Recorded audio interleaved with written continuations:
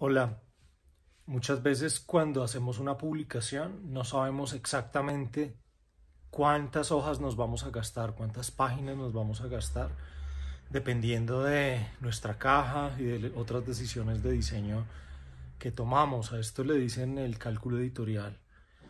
Acompáñenme para mostrarles cómo hacerlo en InDesign eh, y sacarle el máximo provecho a esta herramienta, que es una maravilla. Bienvenidos.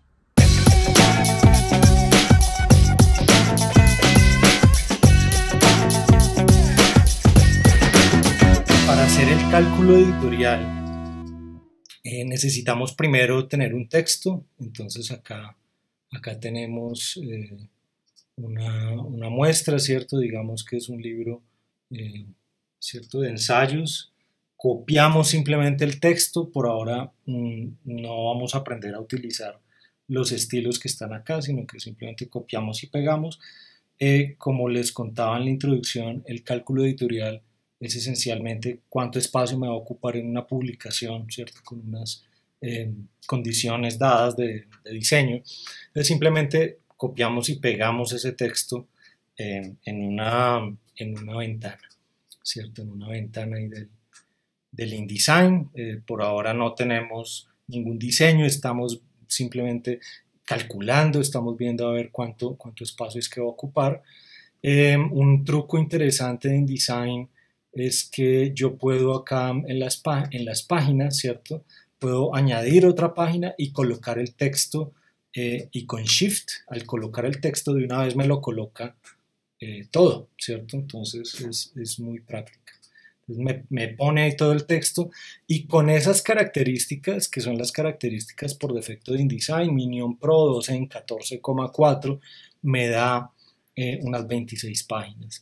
Pero esto pues no es lo normal, lo normal es que yo utilice eh, seguramente otras especificaciones tipográficas, probablemente otro formato, qué sé yo. Eh, entonces comencemos a hacerlo de ese modo. Digamos que voy a utilizar otro tipo de letra, por ejemplo, eh, no sé, digamos que esta sans, eh, digamos que no me gusta de 12 en 14, sino 12 en 15, por ejemplo, eh, seguramente me va a ocupar más espacio, ¿cierto? La interlínea ahí es, es, es clave.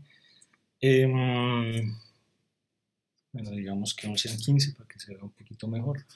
pero entonces ahí, por ejemplo, pues ya inmediatamente cambia el número de páginas. Eh, voy a, eh, pues lo que pasa es que el texto no está, no está colocado. Em, lo que voy a hacer ahora es cambiar el formato, cambiar el formato para cambiar el formato eh, y de una vez los márgenes es mejor ir a la página maestra em, y voy a hacer una cosa, voy a, voy a activar antes que nada una opción acá en maquetación, márgenes y columnas que es la de ajustar diseño, ¿cierto? Y entonces le doy OK y ahora sí con confianza puedo cambiar el formato de la publicación. El formato de la publicación es, em, queda aquí en, en ajustar diseño, ¿cierto? Entonces en ajustar diseño digamos que ya no voy a usar ese formato, sino el formato de 5, un formato más pequeño. Estaba en carta inicialmente, que pues, no sé, un libro en carta pues es un poco raro, un poco grande. Pero bueno, eh, y entonces al hacerlo, miren cómo ya me ajustó todo el texto, ¿cierto? Podría ahorita volver a colocar las páginas, pero todavía no ha acabado. Quiero mostrarles em, los márgenes, ¿cierto? Digamos que voy a cambiar también de tamaño de márgenes. Em, y esos márgenes eh, están ahí en maquetación, márgenes y columnas.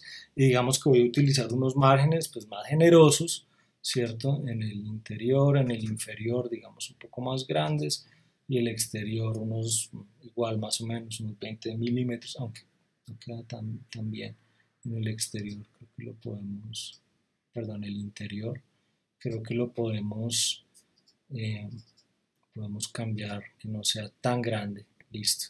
Entonces 14 milímetros, digamos, eh, de margen interior eh, y por supuesto, ahí lo interesante que comienza a suceder es que toda la publicación, el texto en toda la publicación comienza a fluir de nuevo, ¿cierto? Entonces, esa parte se puede hacer muy rápidamente en InDesign con esas opciones que les acabo de mostrar. Y con esta, pues refluimos el texto, lo, lo, lo colocamos de nuevo para poder saber más o menos cuántas páginas nos da. Miren, nos dio acá 44 páginas. Por supuesto, tengan en cuenta que esto es una aproximación nomás. No vayan a creer que ya con eso quedó la publicación hecha, pero por lo menos ahora tenemos una idea más precisa de cuánto, em, de cuánto espacio nos ocupa la mayor parte de la información. ¿no? Recuerden que en una publicación eh, la mayor parte de la información es aquello que se lee, ¿cierto? El texto corrido.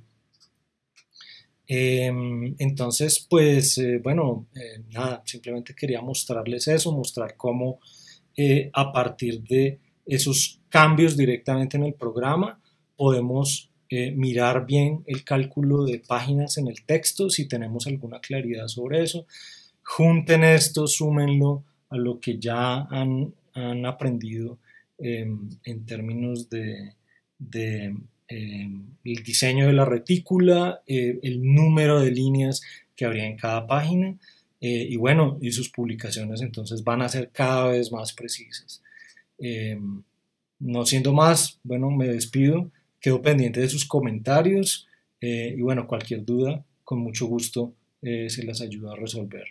Espero que les haya servido y bueno, estamos viéndonos por ahí. Hasta luego.